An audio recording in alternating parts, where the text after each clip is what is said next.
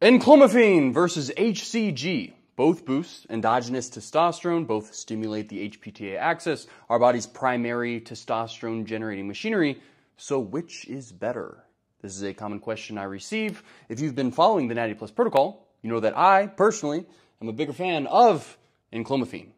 But Valley XO says HCG is king, and that you shouldn't listen to me. So, Am I biased? I mean, did I simply have a superior subjective experience with enclomiphene and now espouse enclomiphene to be inherently superior? Well, although I did experiment with both, and yes, I did respond better to enclomiphene, there's actually one objective pharmacological reason why there's no doubt in my mind that enclomiphene has more long-term testosterone boosting utility, which I will elucidate soon. But first, what are these things anyway? Okay, so in enclomiphene, it's a SERM, selective estrogen receptor modulator. It competes with the estrogen receptors in the brain. Your brain thinks estrogen is low and compensates by releasing more hormone precursors, which increases testosterone downstream. HCG stands for human chorionic gonadotropin. It's a hormone primarily produced during pregnancy by the placenta. But, of course, you can take exogenous HCG, and it mimics LH, luteinizing hormone, which is one of those hormone precursors that enclomiphene stimulates. Accordingly, HCG also increases testosterone downstream. Personally, I experimented with HCG for 10 days, 1000 IU every third day. It did boost my testosterone fairly rapidly. My testosterone increased from 640 nanograms per deciliter to 870. Now, I was able to achieve higher testosterone with just a low dose of enclomiphene. Just 6.25 milligrams daily allowed me to achieve 1,120 nanograms per deciliter testosterone. But you could speculate that I could achieve those levels with a higher dosage or longer duration of HCG. Personally, that's not an experiment that I wish to pursue. I felt terrible on HCG. I was lethargic, I had brain fog. It wasn't a pleasant experience. Why? I don't know for sure. Was it the disproportionate estrogen modulation relative to testosterone? Possibly. But everyone's different. I guarantee you there's individuals out there who feel great on HCG.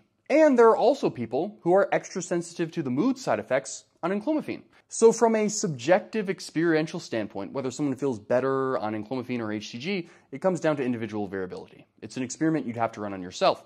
But even if you feel great on HCG, it can come with a cost. But before I totally destroy HCG users' dreams, I will recognize that it has a place. For example, it's absolutely magical when it comes to fertility. In fact, it significantly increases your chance of having a whole litter of humans. So if you're looking to land a reality TV show, or you're just so confident in your current epigenetic configuration that you want to produce quadruplets, then there's no better compound than HCG. But if you're looking to enhance your endogenous testosterone production long term, then HCG, it just isn't the play. Why? Because in the long run, it's going to suppress LH. Remember, HCG essentially acts as exogenous LH. It stimulates the LH receptor. It is considered an LH mimetic. So just as injecting exogenous testosterone sends a signal to downregulate endogenous testosterone production, injecting exogenous HCG sends a signal to downregulate endogenous LH production. So HCG is still suppressive of the HPTA axis, it just suppresses a smaller, more specific part of it rather than the entire system like exogenous testosterone would. So if you utilize HCG long term and then come off, there's a good chance your testosterone will drop below baseline because you suppressed a fundamental testosterone precursor, LH, luteinizing hormone. Now, enclomiphene starts looking pretty magical by comparison because it doesn't work that way. It doesn't suppress anything. I'll pop up a picture of the HPTA axis. So anytime you artificially enhance any of these nodes with an exogenous compound, some part of the system will downregulate in an attempt to reach equilibrium. Enclomiphene doesn't act directly in this system like HCG. It acts on the periphery. It sends a signal right here, and it's a low hormone signal. This signal upregulates this entire hormonal system, which means more gonadotropin releasing hormone, more LH, more FSH, and finally, more testosterone. If you discontinue enclomiphene, this signal is removed and you simply return to baseline or remain slightly above baseline. Nothing essential seems to be downregulated, there doesn't appear to be any sort of tolerance buildup. And the clomiphene studies support this. So clomiphene is enclomiphene and zuclomiphene. Unfortunately, there aren't any long-term isolated enclomiphene studies yet.